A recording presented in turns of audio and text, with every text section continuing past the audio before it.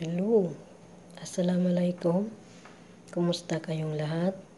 Kumusta sa mga Kawaiti family, sa mga bagong YouTuber, sa mga bagong nagla-live streaming, sa mga bagong nag nagkakareer uh, ng YouTube.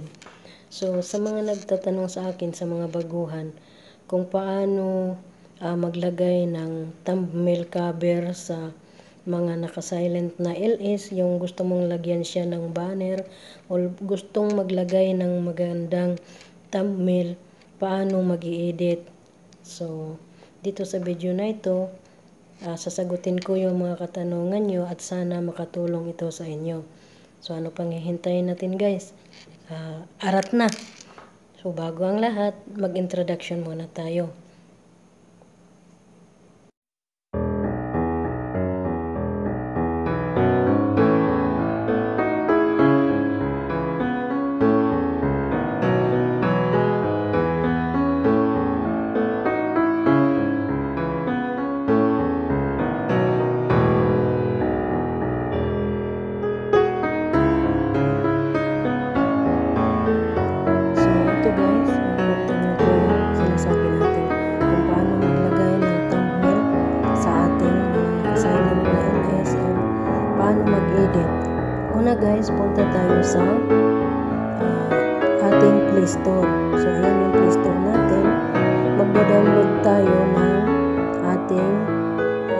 YT Studio for make it shortcut. So, download the YT Studio. Now, I download already the YT Studio.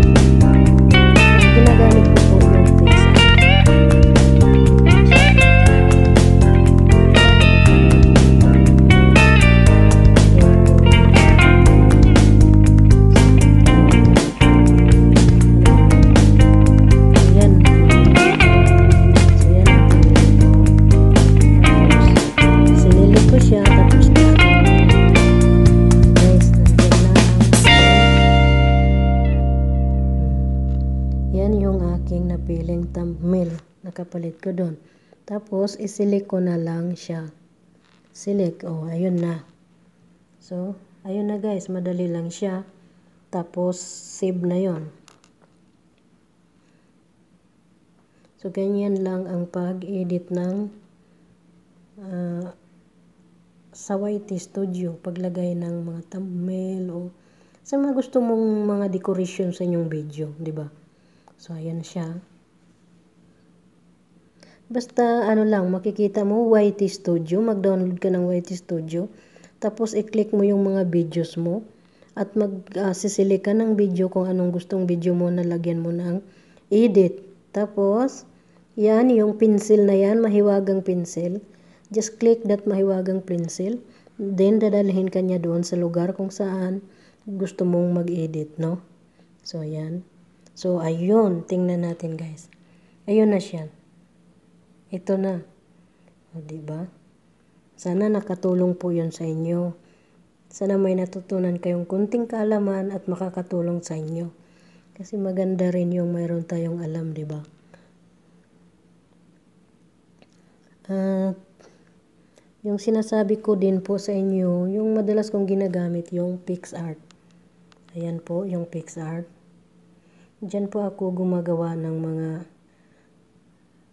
mga kababalaghan na mga decoration. So, yan lang. Yan. I-click mo lang yun. Itong naka plus. Mag-download ka lang din sa ano. Pumunta ka sa iyong Play Store, mag-download ka lang. Ayan guys. So, yun. Mayroon siyang may mga ano siya dito, mga pre-photos na pwede mong gawing background. Mayroon din dito color background kung gusto mo na pre lang po siya. Ayan. Ito naman dito, pre-photos. At yung mahilig ka mag-drawing-drawing, dito naman po yan. Ayan. Tapos ito sa camera, graduation, ganon. May sa mga intro. Yun guys. Yan din yung mga background. Mayroon din po silang background na hindi libre. Kailangan mong magbayad. Halimbawa, tulad ng may mga ganyan. Pag makita mo yung ganyan, hindi libre yan. may bayad yan. so, yan po. Halimbawa, gusto natin uh, ito, itong photo na to, gamitin natin background. Ganon. So, hindi ko yan siya hinihintay. Ini-accept ko yan. Exit ko yan siya, exit. Skip ko yan, ini-skip. So, ayun. Ganon siya. So, yan. Pag-isipan mo kung anong decor yung gusto mo. Dito, mayroon ditong may tools. Ito yung tools na pwedeng kang mag-cut ng kahit ano-ano. Yung tools na yan, no? Alam na natin nun kung ano yan. Tapos, mayroon ditong effect, kung anong effect ang gusto mo. Maliwanag, or hindi. Basta ganun. Ganun siya. Tapos, uh, ano ba yon Canvas, may skits, kung gusto mong pa-sketch o pa-blur, artistic, o magic, diba ganyan. Yan, nandito po lahat yan sa PixArt Color. Kaya, pag-practice-practicean lang guys. Madali lang yan. Ayun. Tapos, halimbawa, sticker. Pwede hindi yung picture mo, gawin mong sticker. Pwede yun. Dito sa ano na yun. So, dito naman, kung gusto mo na mailagay yung ano mo, yung YouTube, Facebook, uh, Instagram, pagsasama-samahin mo sa channel mo, mag-search ka lang dito ng YouTube. Yun. At dito makikita mo, ayan o. Oh. Yan. Libre yan. Facebook, Instagram, YouTube, uh, ano ba yan siya? Ayan. Twitter. Yan. So, may mga like, ganun. Pag wala pong, ito yan, libre yan lahat. Libre yan. Andito rin yung uh, snapshot. Ayan. Libre po siya. Pero pag may nakita po kayong parang corona na yellow, yun po ay hindi na libre. May bayad na po yun. kailangan mong mag-member siguro nun. So, yan. Maganda siya guys, paglaruan mo lang, paglaruan mo. Dito mo maano lahat. Yan, pag Monday, Sunday, Tuesday, mga ano, art-art ba, no? Tapos, dolar-dolar. Basta mag-search ka lang dito sa Discover, i-search mo lang. Mag, ano yan sila, maglalabas yan kung anong gusto mo. No? Tapos, gagawa ka ng picture mo. Pwede mo siyang gawing sticker, halimbawa, uh, picture. Dito mo yan hahanapin, no? Ayan, no? Add photos. So, ganun. Itong lalaki na to. Ganun. Ganun, no? Tapos, add one. Add one. Ayan. Paano natin siya gawing sti uh, ano, sticker? ika-crop nato, eh, ika-crop natin yan siya. Ganan. Ayun. Ayun.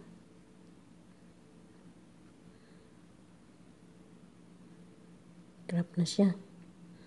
Nag-crop na guys. Ito yata maganda.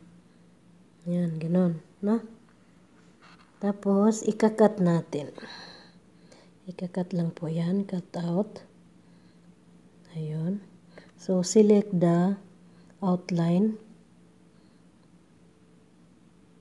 Ayan. Ganun po siya. Kasi gawin natin siyang sticker, di ba? Ganun. Ayun. So, nawalan na yung ulo, guys.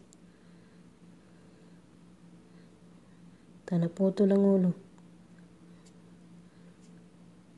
Ano na lang, ganito na lang. Uh, select person. So, sinelect person ko na lang siya. Ayun. Andyan na siya, guys. Oh. Sinelect ko na lang person para maging siya na ang makikita. Oh, yan. Oh, di ba? Oh, di ba, guys? Ayun na. So, naging sticker na siya. O, isi-save mo yan. Yan, nakasave na yan. So, save na yan siya. Ayun, o, diba? Diba, guys? Ayun. Parang lumilipad na o ano. So, ganun lang po.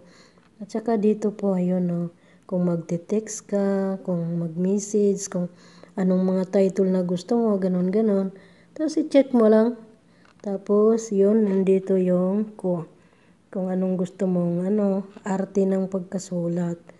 Tapos, yung color, kung anong gusto mong color, nandito lang din.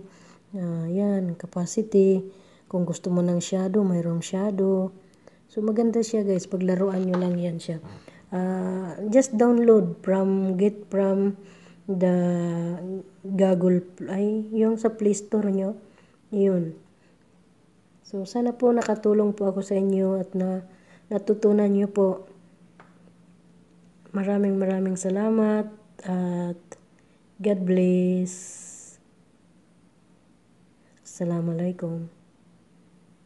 Please uh, share and like Ana Loracho channel. Bye bye.